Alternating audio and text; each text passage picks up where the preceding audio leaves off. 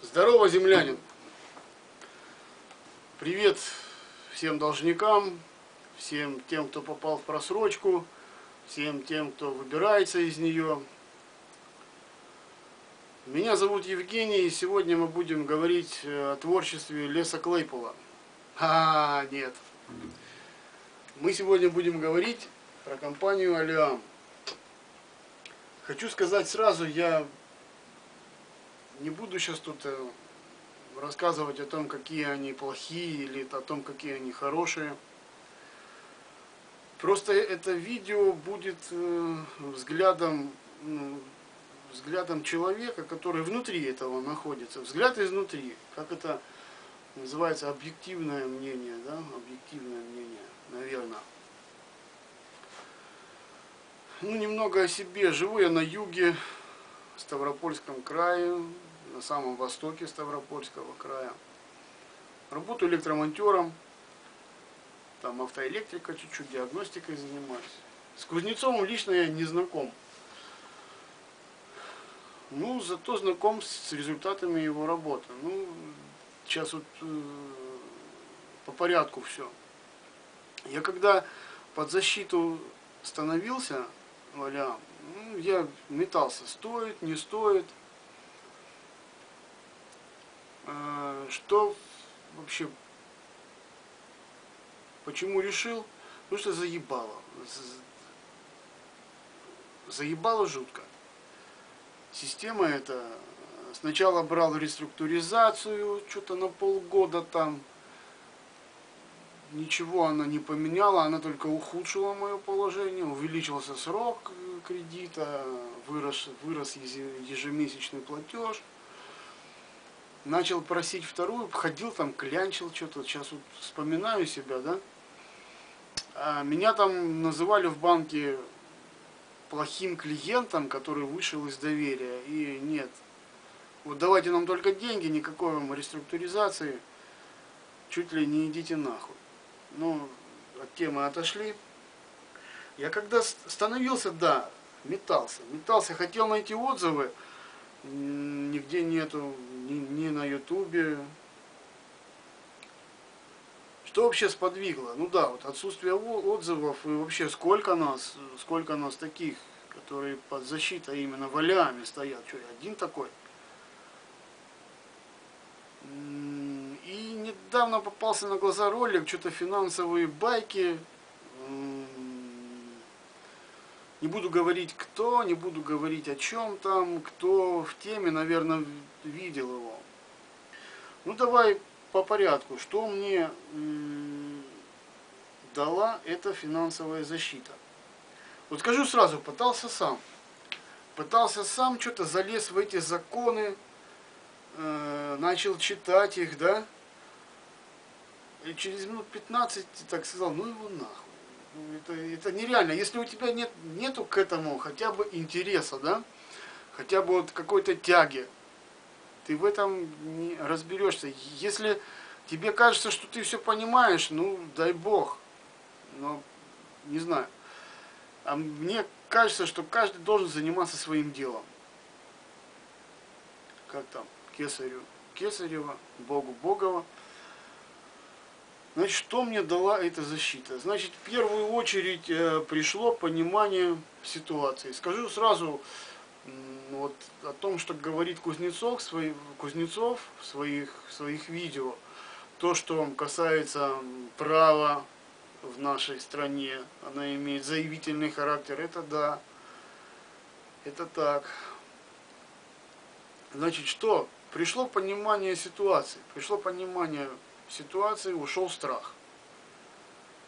То есть э, не просто я взял и поверил там ему, да, что вот да, вот он говорит так, значит и так. Нет, это подтверждается в процессе, да, вот э, не поленись, подними свою жопу, почитай, то, что вот эти ссылки на законы, да.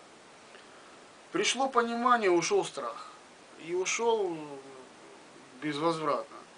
То есть э, уже мнение ты уже не поменяешь, понимаешь, если внимательно вчитаться, вдуматься, э, что приш... страх уходит. Уходит страх, и, ну, начинает звонить банк, начинают звонить, звонить, э, возможно это банк, возможно это коллекторы звонят.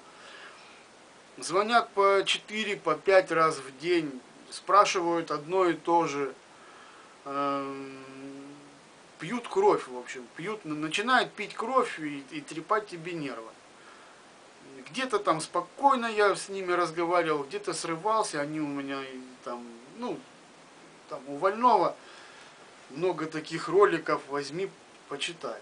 То есть э, Кузнецов говорит правильно, это ты должен сам, ты должен сам себя от них защитить. Он не придет тебе, не поругает этих коллекторов.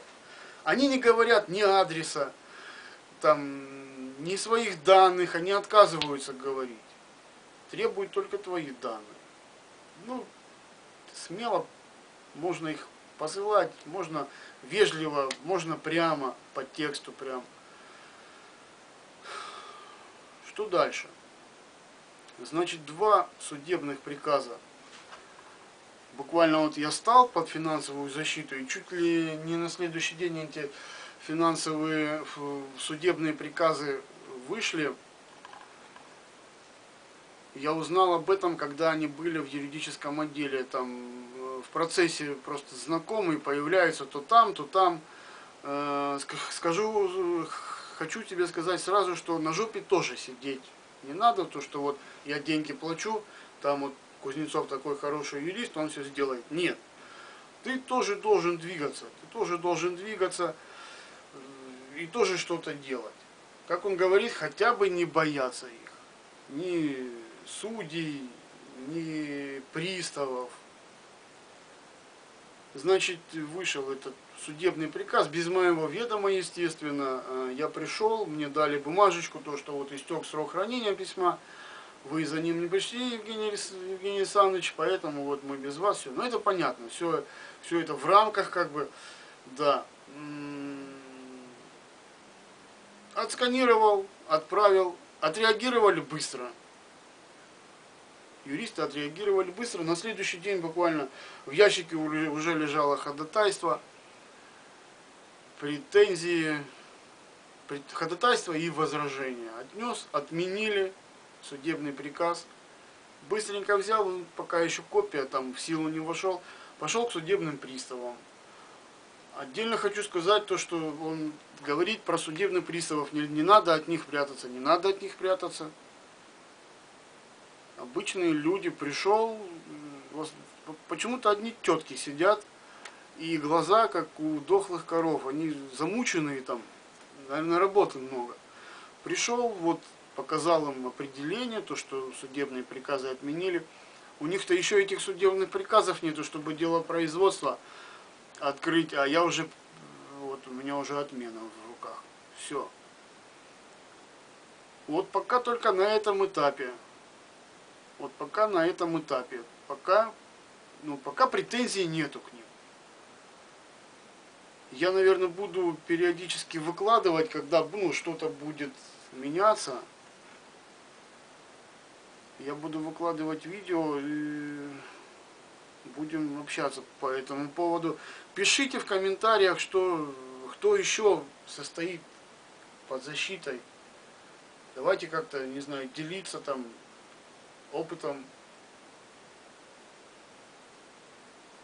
Ну да, опытом. В общем, это мое первое видео вообще в жизни я выкладываю. Ну, пока так. Пока так, в общем. Ну, буду ждать комментариев. Пока.